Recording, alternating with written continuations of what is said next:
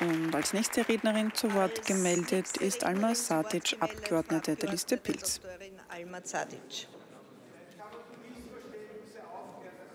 Vielen Dank, Frau Ministerin, Hohes Haus, geschätzte Mitglieder der Bundesregierung. Ich hätte es mir nie gedacht, dass wir hier eine Debatte über die Pressefreiheit führen müssen. Ich hätte es mir auch nie gedacht, dass wir eine Debatte darüber führen müssen, wie Sie, Herr Innenminister, die Berichterstattung in Österreich lenken wollen. Als Sie angelobt wurden, haben wir gewusst, dass Sie als Mastermind hinter den bekannten FPÖ-Slogans wie Daham statt Islam und weiteren hetzerischen Aussagen das Mastermind sind. Wir alle haben aber gehofft, dass Sie Ihr Amt als Minister gewissenhaft ausüben werden, unsere Gesetze und unsere Verfassung achten werden. Aber immer und immer wieder wird uns das Gegenteil vorgeführt. Diese Woche hat uns ja eine E-Mail erreicht von Ihrem Ministeriumssprecher, die, Beispiels, die wirklich auf eine beispielhafte Art und Weise vor Augen führt, wie weit Sie bereit sind zu gehen.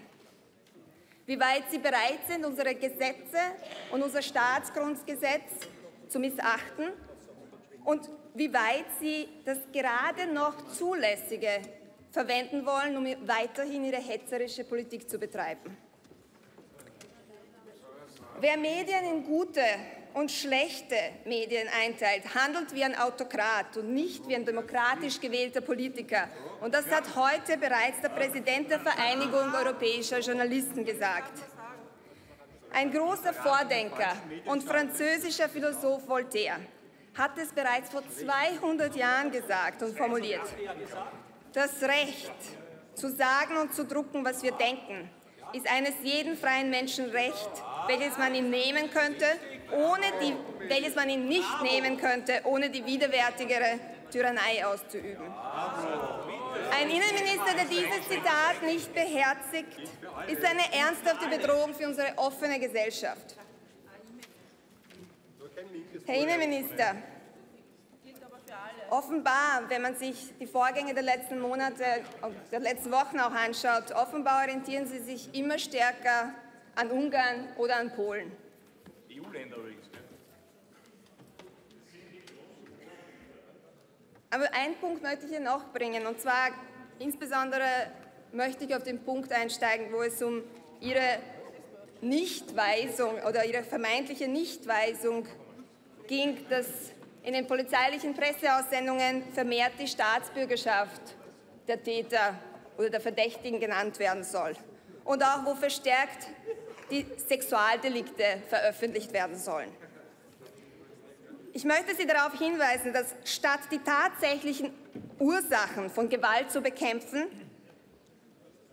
sollten Sie lieber auf Panikmache verzichten, sondern mehr Geld in die Hand nehmen, um für Opfer zu sorgen, in Opferschutzzentren zu investieren und für Gewaltprävention zu sorgen.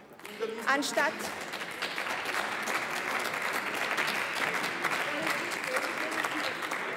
Stattdessen nehmen Sie lieber Geld in die Hand und führen sinnlose Grenzschutzübungen durch oder stecken das Geld eben in diese vorhin gezeigten terroristischen, antiterroristischen Verhaltensregeln. Ich möchte Sie auch daran erinnern, dass 80 Prozent sexueller Übergriffe im eigenen Haushalt passieren. Was tun Sie, 80 Prozent, 80 Prozent, was tun Sie, um diese Frauen zu schützen? Der Herr Innenminister hat doch das nötige Geld und auch das Mandat, diese Frauen zu schützen. Und wenn es um die Nennung der Staatsbürgerschaften geht, dann stelle ich mir schon die Frage, was das denn, was das denn für eine, was es Ihnen bringt, wenn hier die Staatsbürgerschaft genannt wird. Gewalt ist Gewalt, Herr Innenminister. Es ist egal, von wem sie begangen wird. Aber was Sie damit beabsichtigen, ist klare Hetze und Spaltung. Es geht, um eine, es geht Ihnen um eine versuchte Manipulation und Lenkung der Berichterstattung. Es geht Ihnen schlicht und ergreifend um das Schüren von Vorurteilen. Ihr beispielslo beispielsloser Angriff auf die Pressefreiheit letzte Woche hat mich dazu veranlasst, Ihnen heute zwei Geschenke zu machen.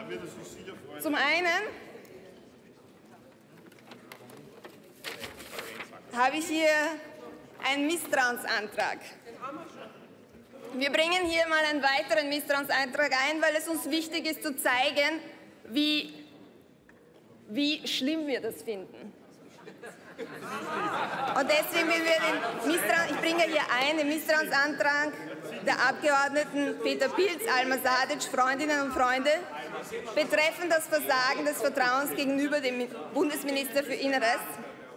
Der Nationalrat wolle beschließen, dem Bundesminister für Inneres dem gemäß Artikel 74 Absatz 1 durch ausdrückliche Entschließung des Nationalrats das Vertrauen zu versagen. Und das zweite Geschenk, das ich Ihnen heute mitbringen möchte, ist die aktuellste Ausgabe der österreichischen Bundesverfassung.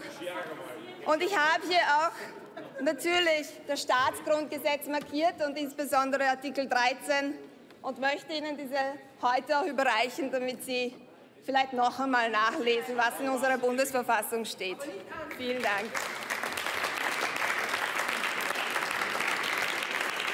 Alma Zatic von der Liste Pilz bringt einen weiteren Misstrauensantrag gegen Innenminister Kickel ein. Eingebracht steht dann auch zur Abstimmung.